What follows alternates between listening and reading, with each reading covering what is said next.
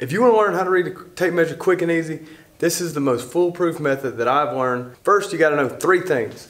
Number one, you got to be able to determine the line length. Okay, so if you can tell me that this line is shorter than this line and this line shorter than that line, then you're 33% of the way there. Number two, you got to be able to count in odds and evens. One, three, five, seven, two, four, six. Now you're 66% of the way there. And the third thing you must be able to do is know the principles of a fraction, okay? If you can tell me the top number is a numerator and the bottom number of a fraction is a denominator, you're good.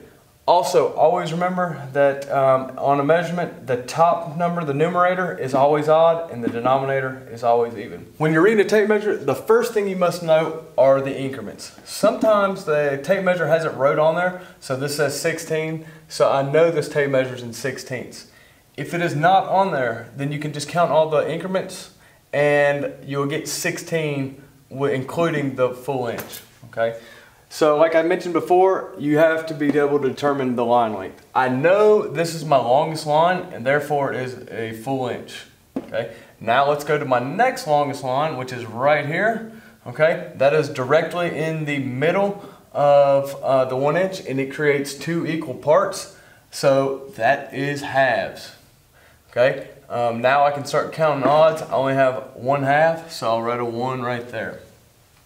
The next longest line are these two lines, and when you include these two longest lines, they, it makes four equal parts of that inch. So these are my fourths right here. And I only have two of them. I can start counting in odds. This is one fourth and three fourths. Okay, and as you can see, that's one uh, one part of four, and that is three parts of four because you have one part, two part, three part, and that's why that's three fourths okay?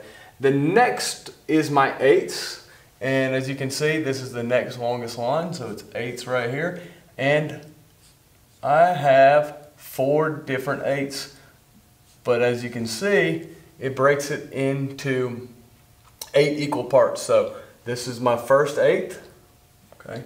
This is actually my second eighth, but when you write second eighths, it is the same as one fourth, so that's why that's one fourth. And then you'll come here, that is my 3 eighths. So I'll start counting all these in odds, 3 eighths, 5 eighths, and then 7 eighths. So as you can see, eight equal parts, one, three, five, seven. And then last but not least is my 16ths. And as you can see, as I mentioned before, this is gonna be in 16 different parts here. This will be my first one at 1 16th. This will be my second 16th mark, and I can start counting odds and that is three. All right, and then I can continue counting odds. Five, seven, nine, eleven, thirteen,